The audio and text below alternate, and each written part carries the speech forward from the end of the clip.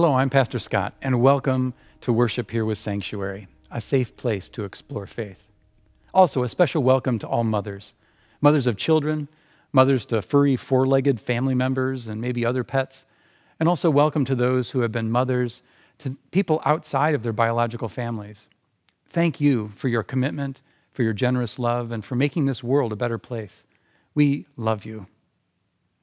This week, people posted to Facebook about what is special about their mothers or mother figures in their lives. Some of those responses were very touching. They, they said things like the unconditional love that their mother has had for them, or maybe the gentle spirit that they embodied. One woman shared about how her parents took in lots of foster kids throughout her childhood, and her mom fought diligently over the years without any kind of financial benefit to get the medical needs that each one of them ha- had um, met and to get them new school clothes every single year, to give them a table to eat at, Christmas presents to open, Easter eggs to hunt, and a family where they belonged. What an amazing gift. Now, today we recognize that God, while being well beyond any kind of label we might give, is certainly a mother to us. Not only because God has given us life, but that she has nurtured, comforted, and given us a loving family, much like the foster kids that were mentioned on Facebook. Now, there are many places in the Bible that talk of God's mothering personality, too. And one is the author of Isaiah, who saw God's mothering qualities and how she cared for the nation of Israel when they were in desperate need. Good morning. Today's first reading comes from the book of Isaiah, chapter 66, verses 12 through 14, and this comes from the message translation. I'll pour robust well being into her like a river, the glory of nations like a river in flood. I'll nurse at her breast, nestle in her bosom, and be bounced on her knees. As a mother comforts her child, so I'll comfort you. You will be comforted in Jerusalem. You'll see this and burst with joy. You'll feel 10 foot tall as it becomes apparent that God is on your side and against God's enemies. I invite you to pray with me. God of provision and unconditional love, on this day we acknowledge the importance of motherhood among us. We first give thanks that you are a loving mother to us, to all of us. From your being, uh, from your being, all life was born, and in your care, all creation is nurtured. You've formed us in your image as your children and gathered us together as like a brood under your wing. You have united us as siblings in one human family, and we're grateful to be your children. Today we celebrate the fullness of your love reflected in a variety of human expressions of motherhood. Gracious God, we pray to you. Amen.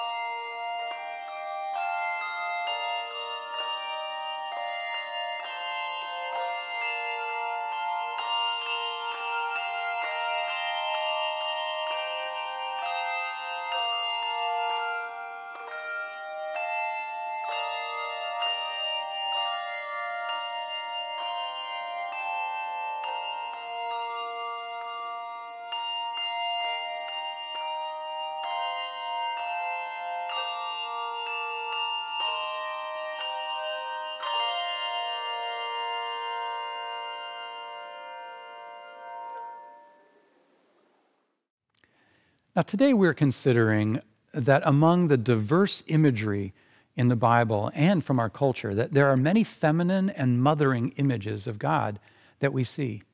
We know that God is neither male or female and truly beyond any kind of label or any kind of language that we might give. And we need to be careful not to conflate God with the language that we use to describe God. God will always be bigger than any language or metaphor or story that we use to describe her. If we find ourselves uncomfortable hearing God described with female pronouns, perhaps we need to look at what has shaped our understanding of God as male. Now, through history, people have searched for words, images, and narrative stories and symbols and the like to describe God. This has led people to talk about God in human terms that help them relate with the vastness of God's reality. In this way, all the ways we describe God are tools then to help us encounter the reality of God. But the language that we're using is not God. And so we need to make that distinction. And it's not surprising, however, that most of the imagery that we see in the Bible regarding God is masculine. Because even though the stories in the Bible were written by different people in different places from different cultures, nearly all of them were paternalistic. That means that the cultures from which we get the Bible were controlled by uh, politically and socially by men, and women were often viewed as less important than men. And we also don't see female pronouns for God in the Bible. Now, that's not to suggest that God has a masculine gender. Uh, there's a lot more to this story. For example, um, one dimension we could look at is that in the times that the ancient Hebrew scriptures were written, now these are the stories from what we call the Old Testament.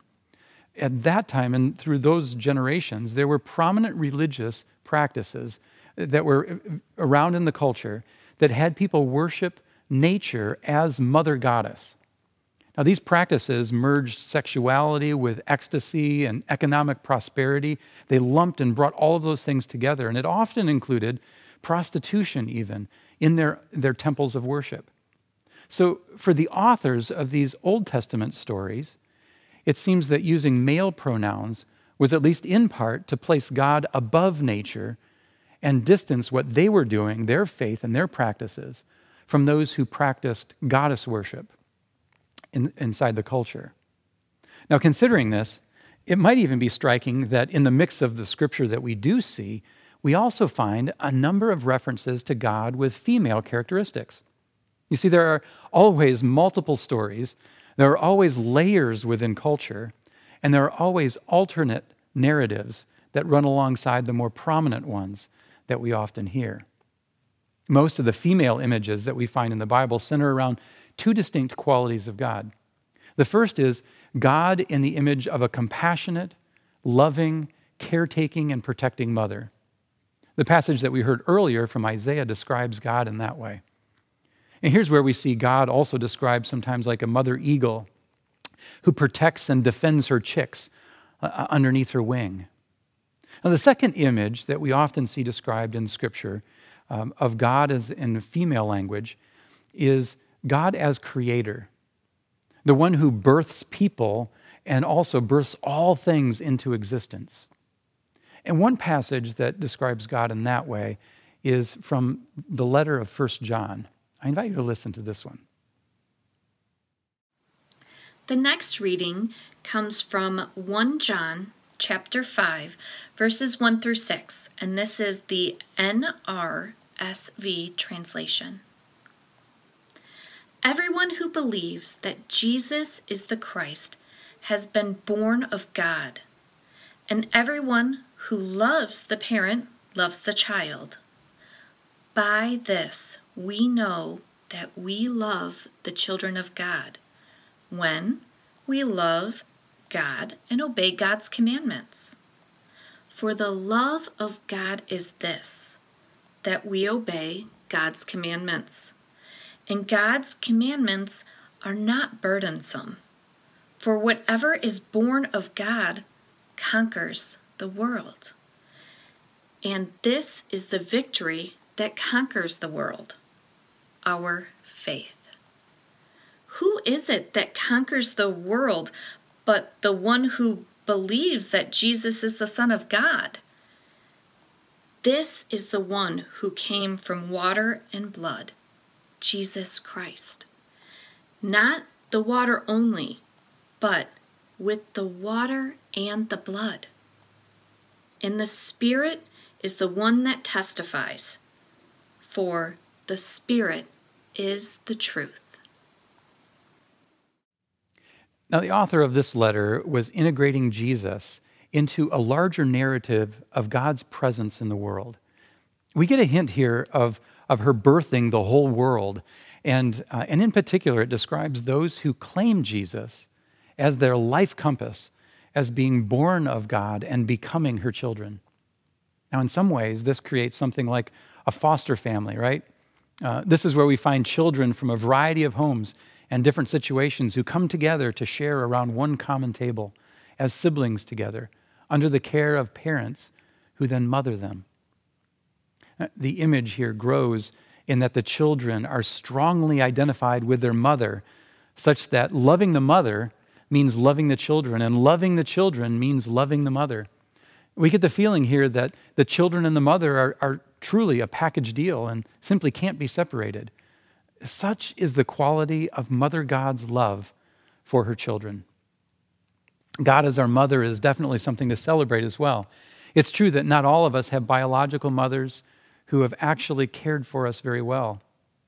And you might know some children, you might be one, um, that have been abused or neglected by their mother. And this is awfully painful, traumatic, and simply wrong, um, and can also leave lifelong scars on a human being. And for this reason, perhaps it's even more appropriate and important to celebrate God as the good mother who continues to love no matter what, continues to provide the space for healing, continues to encourage, continues to support, continues to see the best in each of us as her beloved children. It's the good mother God who creates a wide open and safe space for her children to play, to stretch their imagination, to question honestly to experiment, to learn, and to explore what it means to be human without any sort of judgment. Only encouragement, sometimes correction, and always an abundance of forgiveness and compassion, always with our best interest in mind. You know, Mother God has given us life, has, has birthed us as her children into this world. And Mother God, like an eagle, has gifted us with the wide open and safe space to stretch our wings and learn to fly, which certainly for us takes trial and error, as we know. Uh, some success, uh, but probably lots more failure, right? But Mother God loves us unconditionally through it all. And as children, from the example set by their mother, so we also must learn from our Mother God how to care for one another. This is an opportunity for us to learn from God how to nurture that safe place for all people to explore faith. And when I say faith, this also includes all of the dimensions of life that together make us human, because that's really what faith is about. We all need the safe space that a good mother offers. I invite you to pray with me. Mother God, thank you for loving us as your children. Thank you for providing for us and giving us a community where we're loved and cared for. Thank you for providing the safe place for us to be fully human the way you created us. Help us now to take your lead and provide this kind of safe place for others. In your name we pray. Amen. God our Father, giver of daily bread, blessing our hands and covering our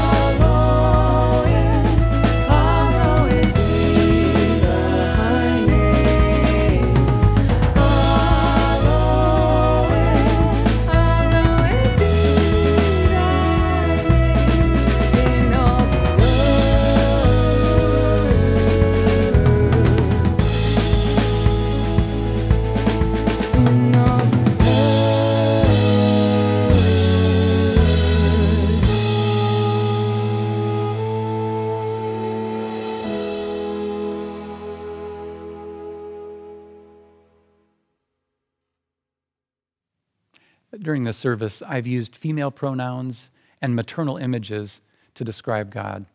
Not to suggest that God is a woman, but to say that using this language can say something true about God and further expand our appreciation for, for and experience of a God who is truly beyond all labels. Now, perhaps this has been challenging for some of you, and, and maybe for others of you, it's been celebrated. And if so, it says something about the rich diversity that has us together as brothers and sisters in God's family. If it stirred you in some sort of way, I invite you uh, to have a further conversation with us about this. Now, as we finish our time in worship together, may you be filled with hope. May you have the courage to do what is good. May you walk with those who are weary, support those who are weak, help those who are sick and in pain. May you love and serve those who need you and honor everyone, while you rejoice in the blessings of each day as God provides. In the name of the lover, the beloved, and love itself, go with courage, go with heart, and go in peace. Amen. And remember, we will get through this together.